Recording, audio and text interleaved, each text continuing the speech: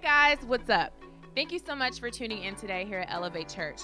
We know that today's message is going to rock your world and elevate you to the next level in your life. So sit back, relax, and enjoy the message. I think that sometimes, because of lack of knowledge, the church in general um, really doesn't understand that science is as important as the Word of God. As a matter of fact, science is what validates that the Word of God is for real. Now, I don't need science to tell me that because God allowed me to experience so many wonderful things with Him that I believe Him. I don't need no one to tell me that He is God. I know He's God because I have tasted and seen that the Lord is good, right? And so I want you to please, as we go into the next few weeks talking about thinkers, don't start thinking, oh, I already know where he's gonna go. No, you don't. I'm gonna throw you so off today. You're gonna think that you had it down, and you're gonna realize that you thought wrong. Are you ready? Okay, so let's start with this. God has given us a beautiful gift called faith. It's a seed.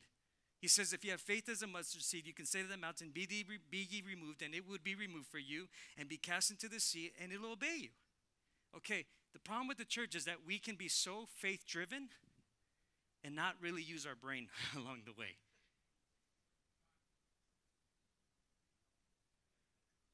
Are you with me?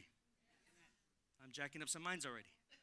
Faith is awesome. Listen, faith is the foundation in order for us to transform the way we think. Okay, so God says, I not only want you to have faith, but the church has taken the works out from the faith.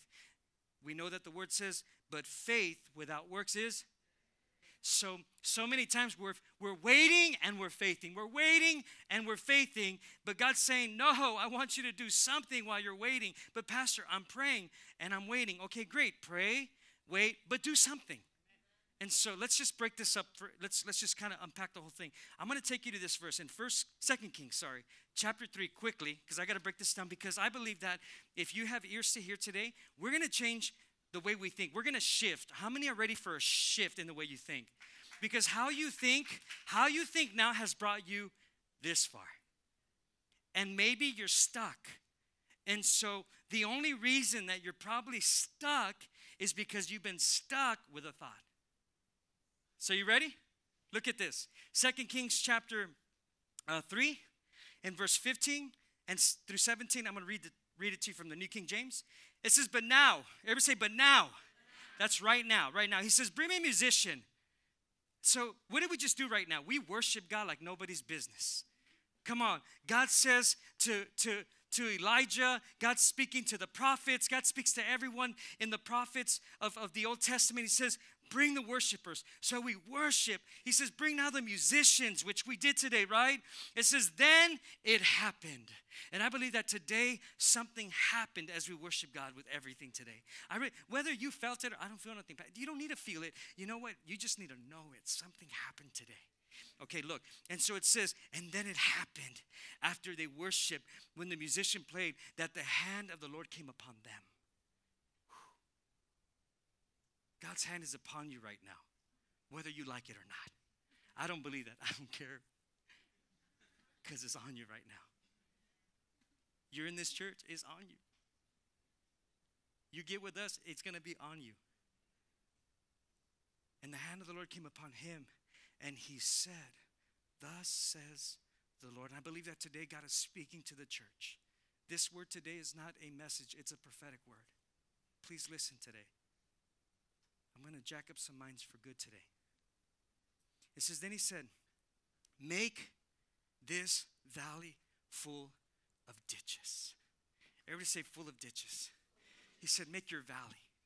In this, in this time, the Israelites were going through so much pain. They were going through so much drought. Listen, there was no rain. There had been no rain, which means there was no water.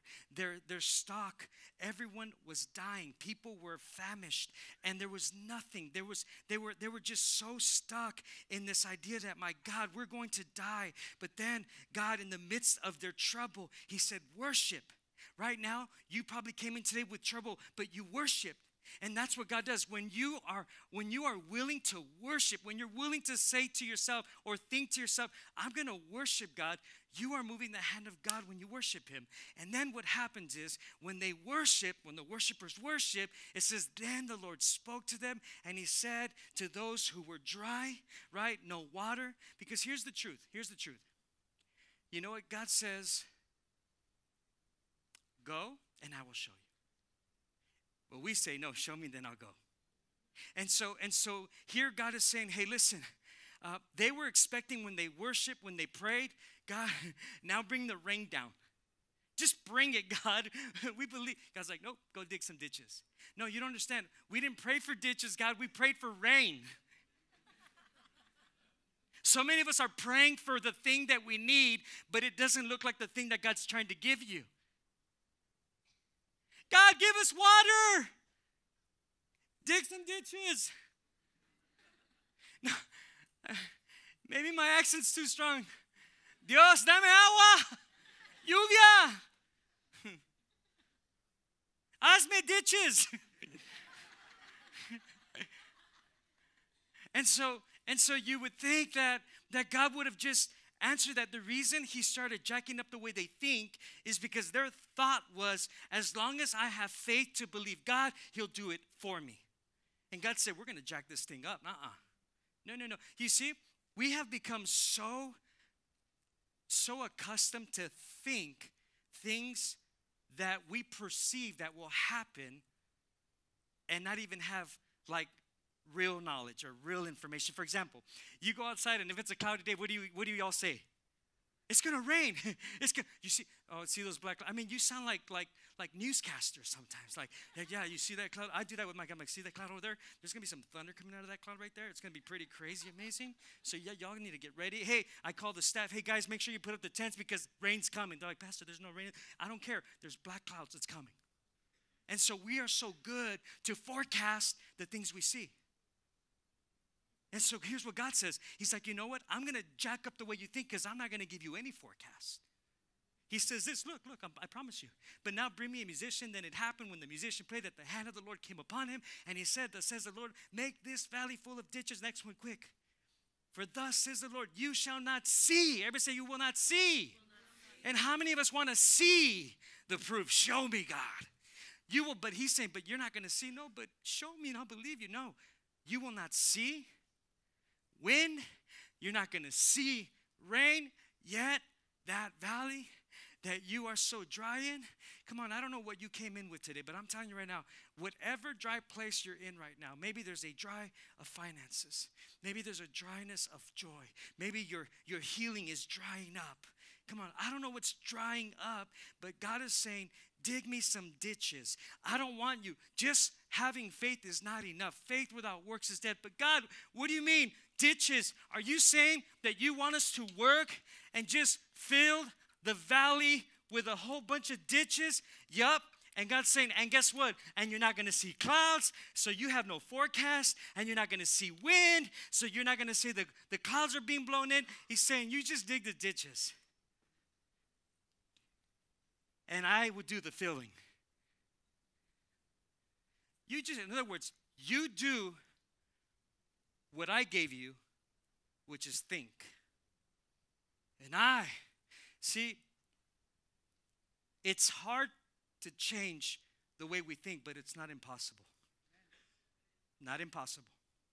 And many of us have been stuck with a way of thinking from this family line.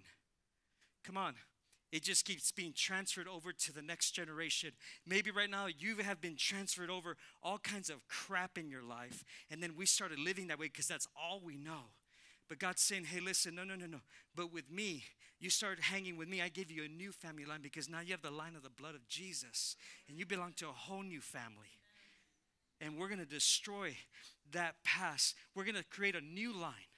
And so here, he says, Yet the valley shall be filled with what? Water so that you, your cattle, and your animals may what?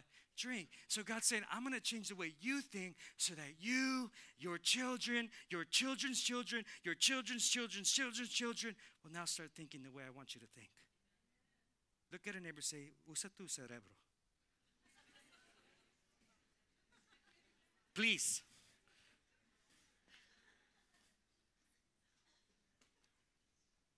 Listen, wherever you're at, you have to stop and think because God wants to do something. I'm going to share a quick story with you. Uh, you know, I have been working super hard right now uh, with our foundation and, uh, and, and, and now getting more focus in rescuing kids that are sex trafficked. I'm talking about children, five years old, six years old, that have been raped uh, 21 times per day. Uh, I just came back from Mexico and uh, this one lady who just rescued a girl who we're also connecting with. She's the, the fourth most powerful woman in Forbes magazine who is now mentoring me, which is awesome. And, uh, and, and, she's an activist for human trafficking worldwide. And she just rescued a, a girl 61 times a day she was being raped. 61 times a day. And, and you know what? Many of these victims think that they're not victims because their pimps confused them and told them, I love you, and so I'm doing this because I love you. And so now their thinking is so jacked up that the lie has become their truth, and their truth has become their behavior. And so God wants to break the way we think. So it's not impossible for God to do something amazing in your life. Let's just start with this. I'm going to show you some images, but let me give you some rules. Do not open your mouth, do not say nothing. I want to just show you some pictures and I want you to look at it and think what images you're seeing. And when you see those images, keep it to yourself. Nobody needs to say it. We don't want anybody right there being a brown nose today. Amen? Okay, you guys ready? Let's let's put the first image up quickly. All right. Close it. Off. Okay, how many here with a raise of hands saw a rabbit? Lift your hands if you saw a rabbit. A few people. Okay, put your hands down.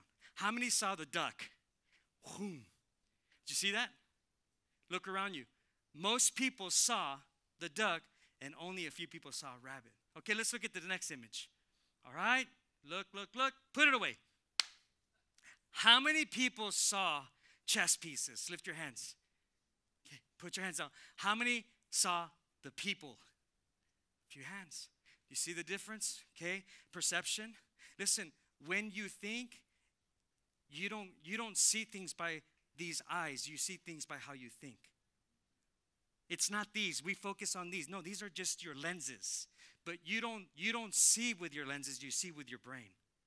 So the reason so many times we stay stuck and we don't move forward it's not because of what we see. It's how you think. It's not a see issue. It's a think issue. As a man thinks in his heart so is he. It's just think. It's not what you see It'll never be what you see, it'll always be what you think. And so, next image, look at this one. All right? And close it. How many saw the old lady? How many saw the young lady? A few people. There we go again. Let me give you another one. How about this one? Uh huh. Okay. Put it away. How many saw the giraffe? I'm just playing, nobody did.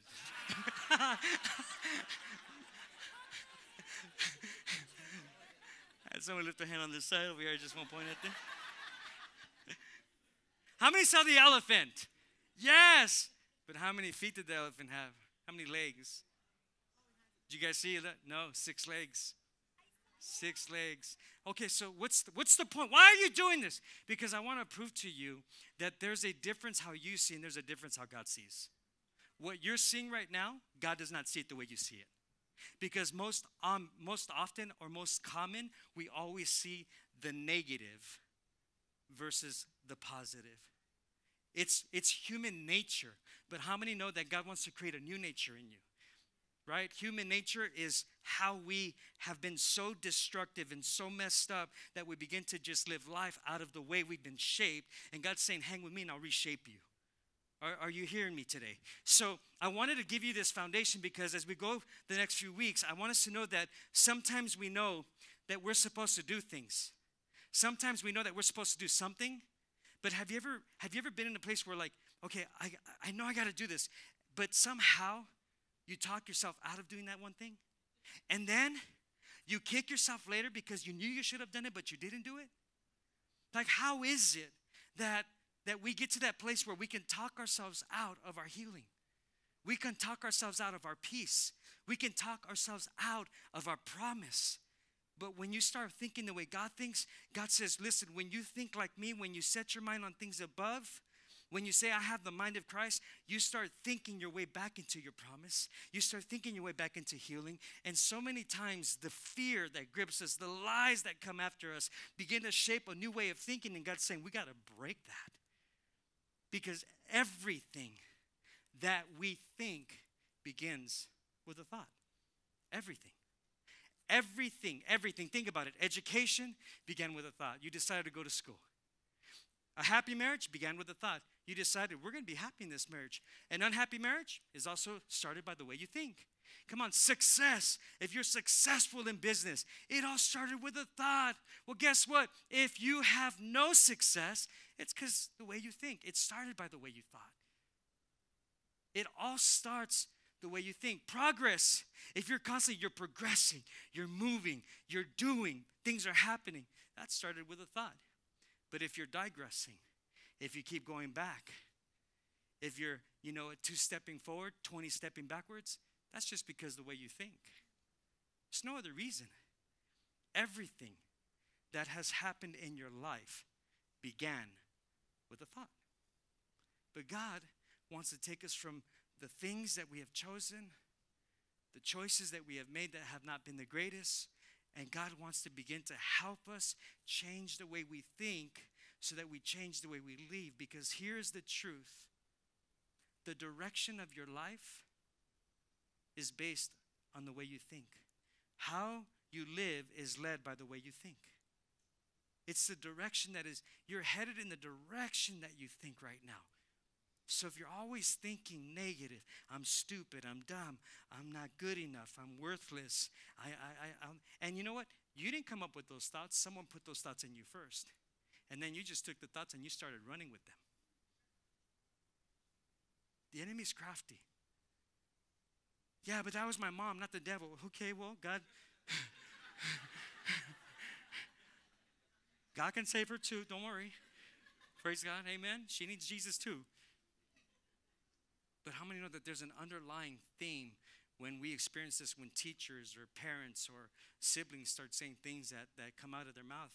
It's deeper than them, but there's an enemy that's trying to destroy us. You know why? Here's the truth. Since the beginning, God said, I'm going to give them a brain. Have you ever thought about why God gave us a brain? A brain is for us to feel a sense of three things. It's called hashtag PIP protection. Doesn't your brain, when you're in trouble, doesn't your brain tell you, warning, warning, warning, warning, right? Your brain feels pain, right? Your body doesn't feel pain. Your brain is telling you there's pain. It's not your body, it's your brain. So he gives you protection. You know what else it does? He gives you an identity. God gives you an identity. He placed his image and he made you like him. Well, there's a way that he wants us to think. He wants us to think the way he thinks, and he wants us to see the way he sees. He wants us to speak the way he speaks. He wants us to live the way he lives. He gave us an identity, and he gave us prosperity or provision. He's PIP. Any father gives that protection, he gives their children identity, and he gives them provision. He does that. So God gave us a brain in order for ha- us to have these three things in our life. And the enemy comes to destroy all three of those things. And so then we start creating this new this new person because of the way we've been shaped and thought by our experiences. And so I'm going to ask you to really think about this in the next few weeks and say, "You know what? Maybe I am stuck in a thought right now. Maybe I think I'm good, but I'm really not because here's the truth. You can always go further in life than where you're at right now. There's more. And the only reason you're not going further is because you're not thinking you can go further. But you can go further. You can go stronger. You can go longer. You can do so much more. Your life will go in the same direction you think. Remember that, okay? And so it all starts with a thought. That's why God constantly, He is admonishing the church constantly. As you open your Bible, He's admonishing you. He says, Hey, listen, I want you to guard with all diligence the way you think. And He says, and guard your heart. He's constantly talking about this. But think about this. He gives us this book called the Bible. It's an open book test. He says, You know what? I give you a new way of thinking. But how many know that sometimes we just get too lazy to read our Bible? And then we're questioning God, Why aren't you speaking to me? We are waiting for this word to just voice to come out of nowhere and just be like, hey, just take the job, man. Just, it's all good. No, listen, open your Bible, and then God begins to speak to you. The, word does not only speak you, it changes the way you think. And so God wants to change us, but we got to open. That's our ditch. The ditch that we need is open your word, and God says, and I'll fill you. We have to learn how to do that. Are you with me today? Because here's the truth we are one thought away from either destiny or we're one thought away from demise. That's just the bottom line. One thought away from destiny. Right now, in the next few, if you can just think, just change one way of thinking right on your life, you are just one thought away from having a greater victory. Let's look at a verse. Because obviously the church was having an issue here, and the Apostle Paul is speaking to the Philippians. And man, I'm telling you, uh, being negative is just, it's just normal for us nowadays, right? We're just like, we always think the worst. We don't think the best in people.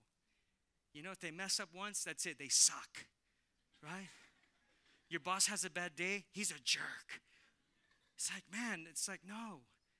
Look, look, look what Paul says. So he's talking to the Philippians, like, hey guys, we got to stop this noise. The way we've been thinking is wrong. Look, he says, finally, my brothers and sisters, always, everybody say always. He says, always think. How many of us hardly think? Or we get stuck in the rut of the routine, so you just keep thinking the same things because you haven't given birth to a new thought. And so Paul's saying, hey guys, let's stop this. Let's always think. Do you know that if you can think your way to greater success, you can think your way to a happier life, you can think your way to joy, you can think your way to watch. He says, think always, think, think, usa tu cabeza about what is true. Think about what is true. So many times we think about what is a lie because how many here would admit today that you are stupid? But how many have thought that you are stupid? No one's going to be honest. I'll think, I've, I've said stupid to myself, like, you're so stupid. But guess what? But I won't stand here and say, hey guys, I'm stupid. I, I'm not. But I thought it. And so we have to watch it. And so here he says, finally, my brothers, always think about what is true. Think about what is noble, right, and pure. Think about what is lovely and worthy of respect. If anything is excellent or worthy of praise, he said, think about those kinds of things. But we are so trained to only think about everything that we've experienced. Here's, here's, what, here's what it looks like I have people that I meet with, and I'll share things like this, and they'll be like, you know what, but you don't get it. I've been through some hurt, I've been through some pain. You don't get it, man. I've been abused. I've, and listen, God is not saying deny your pain. He's not saying deny your hurt. He's not saying deny your experiences. He's not saying that. But He is saying this at some point, we have to go ahead and realize that everything that meant for bad for your life, every bad experience, every hurt, every pain, everything that you've experienced in life, God's saying, if you just give it to me, what the enemy meant for bad, I will use it as an opportunity to use it for something good for your life. But see, it takes a mind of Christ to think that way. Because we get so stuck in our woe is me instead of wow is he. You hang out with wow long enough, you're going to change you hang out with woe enough, you're gonna you're gonna reap that. I'm telling you. It's possible. So he says, think about what is noble. What's no, what's the word noble mean? Noble simply means this that you know what? I, I don't just come from any pedigree. I'm a noble man. You see, when was the last time that you thought, wait a minute, I'm God's kid? I'm his kingdom kid. Like if you just started thinking, no, you know what, everywhere I go, I got favor. Why? I'm God's kid. He loves me. He wants the best for me. What? How many parents do I have here? Lift your hand if you're a parent. Tell me, what, which one of you parents, you could put your hands up, which one of you parents wants the worst for your son or your daughter? Like you just wake up like, man, I hope you just trip and fall today. You just, I hope you hit your head when you walk out the car. No, nobody thinks that. Everybody wants the best for their children. So when when did we start thinking God doesn't care about me? No, yes, He does care about you. He cares about you. He loves you. He wants the best for you. Then why am I going through cancer? Why am I going through this challenge? Why? Let me tell you something. Your children go through challenges. Your children will go through troubles. Your children are going to face some big obstacles. Your children are going to face giants in the land. But guess what? But because I ingrain in them that we don't quit, we fight the good fight of faith. We stand strong. We believe. We confess the word. We stand strong no matter what we face in life. Why? Because we choose to think always about what is true, what's lovely, what's worthy of respect. If anything excellent or worthy of uh, uh, uh, or worthy of praise, think about those kinds of things and watch what God do. True story. So um, I've been working a bazillion hours, and I took one day off after two weeks. And the one day I said, I'm gonna go, I'm gonna, I'm gonna go ride a motorcycle. And I did. I, I, I got, I got, I rented a Harley, and I told my family, peace, I'm out of here. and I went riding. But I went, I went riding to, to a desert. And, and, and it's not that I, I, I mean, there's pavement in the desert, right? But in this typical road that I went through, there was no pavement. It was all dirt and rocks. Now, if you ride a motorcycle, it is not wisdom to ride on a dirt road with rocks and pebbles with a 1800 pound motorcycle. Okay, so I'm riding. I have no choice. It's not like, oh, yeah, let's go ahead and choose this obstacle. No, if I want to make it back, I had to take this road. And so many times we want to change, but you're not willing to take the road that's going to need that change. And so I'm on this road and I'm like, I'm looking all gangster too. I was like, you know, but but the rocks and the pebbles and the, and the street was, it wasn't straight and flat. That would have been awesome. No, the road I was on was like this. Whoop. I'm like, so I'm freaking out because I'm trying to keep the bike straight, but the pebbles and the rocks, they, they kind of make you slide a little bit. So at this one point, I'm riding and I'm like, oh shoot, I'm going left. And I start pulling my whole body. I'm pull, I mean, I'm pulling my weight to turn this bike. No, it was too late the rocks were sliding the tires. So check this out. I'm riding and I slide all the way down to the embankment, which is not like this, but it's like this. And along the embankment then is a dirt wall. So check this out. I'm in the desert. The next closest town is 25 miles. There is no cell phone reception. There is no call box. I'm in the middle of the desert. And the bike goes, boom, and of course tries to take my leg. And I'm like, oh, Jesus, help me, Father. So I get out of it and I jumped out. I didn't cuss, I said Jesus. and I got off and check this out. First of all, there's no way that one person can pick up an 1800 pound bike. It doesn't have, this is like a Road King, okay? This is a huge bike. Okay, I ride Race bikes, easy. I can, I can, even though it sometimes takes two guys to lift that bike, but I can still, I can lift up a, a, uh, a, a race bike, no big issue, you know. But a Road King, not only is the bike heavier than a mother, but now, I didn't say nothing bad, stop it. You're gonna get me in trouble, stop. But the tires are, are, are now against the embankment and the drop. So think this it's not just lifting a bike, now it's against the embankment. So, how are you going to lift a bike when it's already like this instead of flat on the ground? So, I grab it and I'm just like, um, I didn't even move the thing. Nothing happened. Like nothing. And I'm, and I'm like, oh my God, what the heck did I just do? I'm like, oh my God, no one's going to find me. I'm in the desert and negative, negative, negative. That's okay. And, I know, and now, now I'm trying to do something with the wrong attitude. I'm desperate. When you're desperate, you do stupid stuff. Let me see how much. No, I'm just kidding. and then I'm like, and nothing and nothing. And listen, honest to God, God is my witness. If you don't believe me, I don't care. But I start praying. I start praying. I'm like, God, you know, I'm in the desert. I'm alone. And, and I honestly, I genuinely, I, before God is my witness, I say, God, I need your help. I, I, I don't know, I'd have to walk 25 miles. Okay, that's in the desert. And so I said, God, I need your help. And you know what? Obviously, natural mind thinking is you always pick up from the, the weight. Where the weight is, that's where you pick up. You never pick up from the light. You pick up from the weight because that's where you're going to get your best resistance, right? Well, all of a sudden, as I prayed, I thought, I'm just going to lift the bike from the handlebars. How many would say that's kind of stupid, right? Like, how are you going to lift an 1,800 pound bike from the hand, like the handlebar? Oh, yeah. Stupid, right? But guess what? This thought came into my mind when I started changing the way I thought and I started praying to the one who can help me. And I said, God, you have to help me. I, I, I promise you. I don't like to swear, but I, I, I, I swear I promise you. I literally, honest to God, I picked up the, the, the handlebar and I just, I lifted, I lifted the motorcycle as if it was a bicycle. I am freaking out, like, oh my God, I'm lifting them.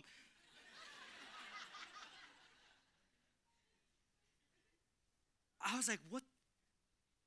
And I'm like, oh my. I got out, I'm like, what the heck? Just turned it on? And I was like, oh, I, I, listen, I promise you, I was right like, oh, I love you, God. Oh, I love you. You are so awesome. You're, let me tell you something. When you finally stop thinking that it's impossible with you, but possible with God, God will do supernatural things like He did with the church of then when He said, You need water? Dig some ditches and I'll fill them. Mauricio, you want to you want to pick up this bike?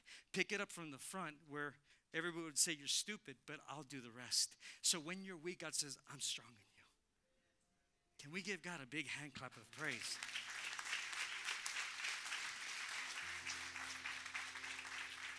And then I said to myself, Where's the GoPro when you need it, right?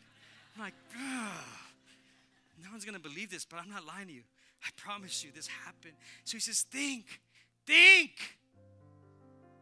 You're one thought away from your destiny. You're one thought away from your breakthrough. You're just one thought away from seeing the impossible happen when you decide to hook up, link up, shack up with God. He'll change it, man. He'll, he'll, he'll revolutionize it. Too many times we're doing it on strength and we're frustrated, we're desperate. But you bring God in it, it's all of a sudden like, whoops. Was the last time you gave birth to a new thought? Like, you know what? This is impossible, but with my God, for real, the revelation, all things are possible with Him to those who believe. I think we've been trusting us too long. It's time to transfer back on Him. Because me is caught up in my woe or my woo. Where God's like, hang with me and I'll give you a wow. That's my God. Are you hearing me today? A few more minutes. Let's get out of here. So, so God's not saying deny your pain. God's just saying get a God perspective. He's not saying, hey, listen, you're a jerk because you're perceiving it wrong. He's just saying, hang with me and I'll show you a better way. He's not saying you're dumb. He's not saying you're stupid. He's not saying that you're worthless. He's not saying that, that you're no good. He's just saying, hey, daughter, hey, son, just come with me. Those who are heavy and, and feel that you're, you're burdened, he says, come to me and I'll give you rest. God says, my ways are higher than your ways, Mauricio. My thoughts are higher than your thoughts. When will we give God that truth and say, you know what, God, you are right. You are better than me. You're higher than me. You think further than me. I need your help. Can you imagine how much further we'll probably be if we just went ahead and hooked up with God? Can you imagine what He would do, what you see as an issue that is bringing you back? Let me tell you something God will take your problem, your issue, and He'll use it to propel you forward. The problem is not the problem. Say it with me the problem is not the problem. So get over your problem.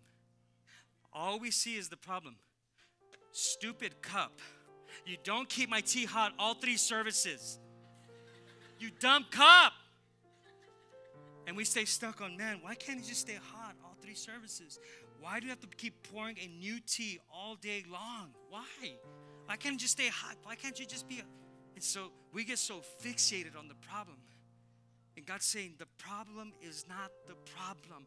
Oh, my kids are out of whack. No, the problem is not the problem. My finances are jacked up. The problem is not the problem. Those people are just full of, you end the sentence in a good way. No. The problem is not the problem. Here's the problem it's in between your ears. That's why God says, stop conforming to the way this world thinks because the world will always look at your situation and say, Dang, bro, you're never, you'll never afford that. That's a lie. Who said that? Let me read you a verse quickly because look, the Israelites. You guys, you guys still good?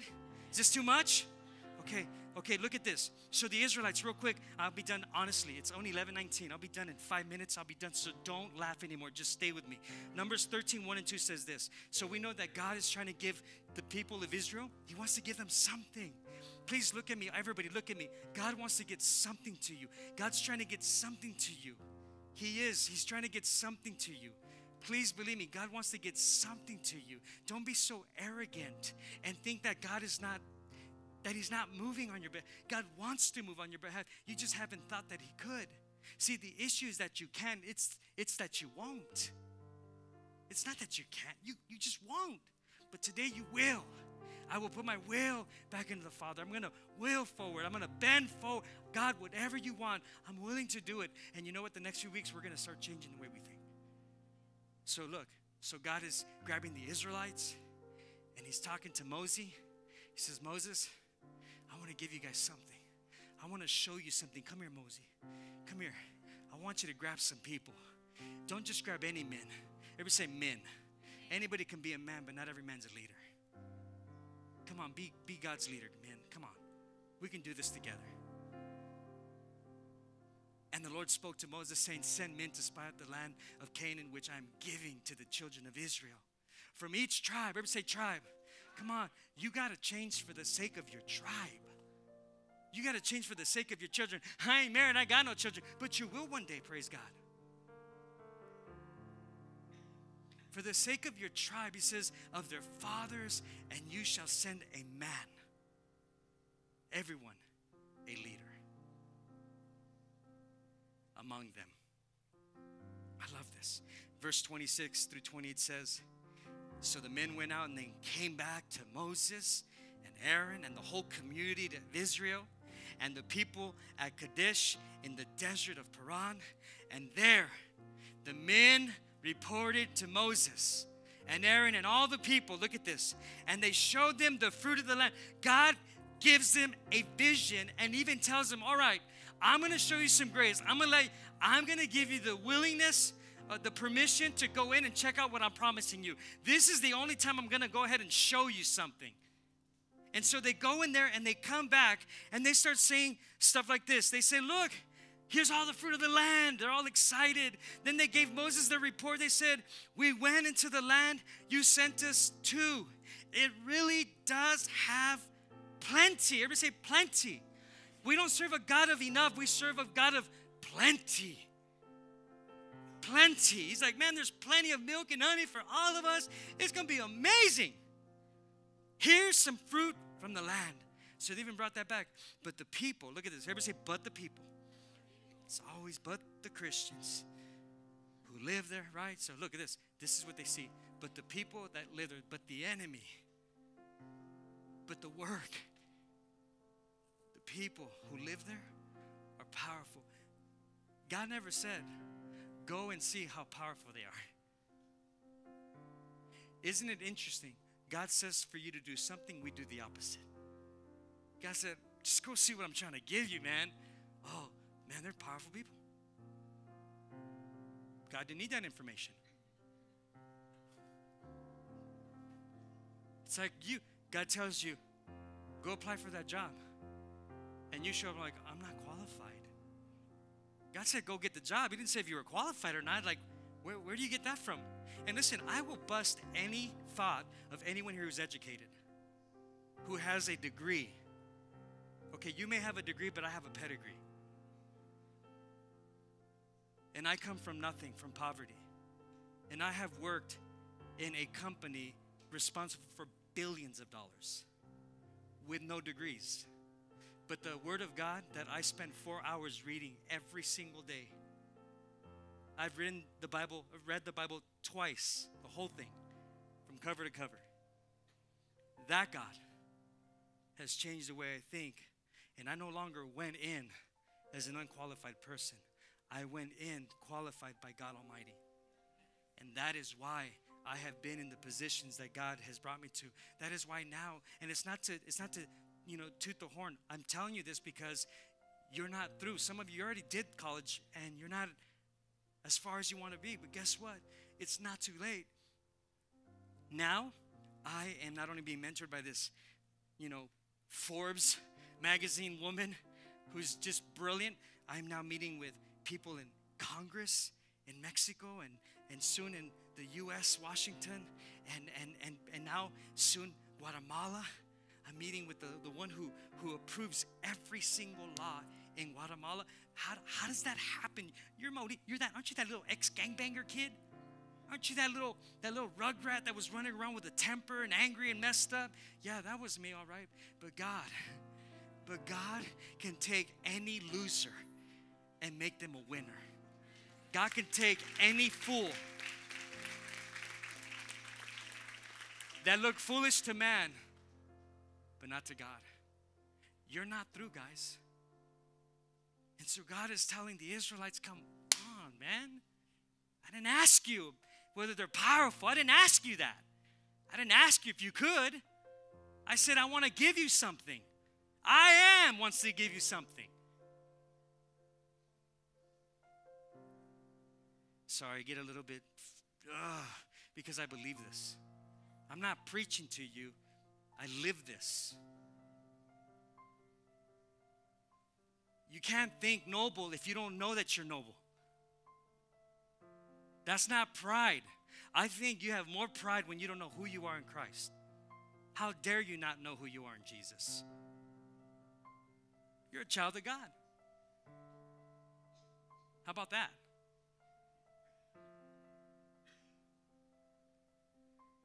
But the people who live there are powerful. Their cities have high walls. No one asked for high walls, bro. Around them, and they're all very large. I didn't ask for their heights. And and look this, and we even saw members of the family line. Now they're talking about their awesome family, and your family sucks. Their family line is amazing. Oh my God, that's the there, man. You, man, we've heard about that family. Yeah, but hasn't anyone heard about yours? We're, we're proud. We're a proud family in the Ruiz household. I, I want to pass a legacy on to this girl, my daughter, my son Isaac. I want them to go further than me. But they're a product of how I think. They call her Mini Me. There's a reason for that. She thinks like me. We have a job to do. The battle will always be in your head, guys. It's here, not here. The problem is not the problem. Your thinking is your problem. The enemy will bully you with lying thoughts, right? You're not good enough. You're never going to succeed. You're never going to move forward. That's why John 8 44, Jesus said this very clearly. He says, You are of your father, the devil. And the desire, this, this is pretty harsh, but he's telling the disciples this. You're of the father, your devil. You're of the father of your devil. Like, wow. And the desires of your father you want to do. He was a murderer from the beginning and does not stand in the truth because there is no truth in him. When he speaks a lie, he speaks from what? His own resources for he is a liar and the father of it. The only power that the devil has in a lie, the only power in a lie is your belief. Whether you whether you're willing to choose that lie. That's it. No other power. He can't jack you up, he can't destroy you. Only that. Only that. Look at this. Numbers 13 33 says this there, there we saw the giants, the descendants of Anak, and they came from the giants, and we were all like what? Grasshopper. How do you see yourself? We're all like grasshoppers in our own side, and so we were in their side. Stand to your feet. Let's get out of here. Listen, what happens here, just to sum this up, to sum this up, what happened here? we know that the Israelites, 1.4 million Israelites, they died in the desert, not because they had problems, because of this. They said, We saw ourselves like grasshopper. God is trying to show them that He has something that is more. He's trying to show them a promise, He's trying to show them some victory. But here is the problem, guys. The Israelites, convinced, they talked the people out of the promise of God. Those men that were sent we're willing and ready to talk out 1.4 million out of the promise of God. How many times have you talked yourself out of your miracle? How many times have you talked yourself out of your breakthrough? Like you're in it to win it, and then within a week, you talk yourself out of it. What happened here with the Israelites? When you believe the lie, then you make it a self fulfilling prophecy. The enemy will always bully you with lies. But when you begin to make the lie your truth, then you're bringing a self fulfilling prophecy to your life. And guess what? What they believed, they got. they never entered. We're going to change the way we think so that we can change the way we believe. Because the truth is this, and this is the last verse here. That verse uh, point. You have to trust, if you, for you note takers, you have to trust what God said and not what you see. If today's message impacted you in any way and you would like to help us spread the gospel to others by giving a financial gift, please text the number below. And we know that someone's life will be changed as yours was today.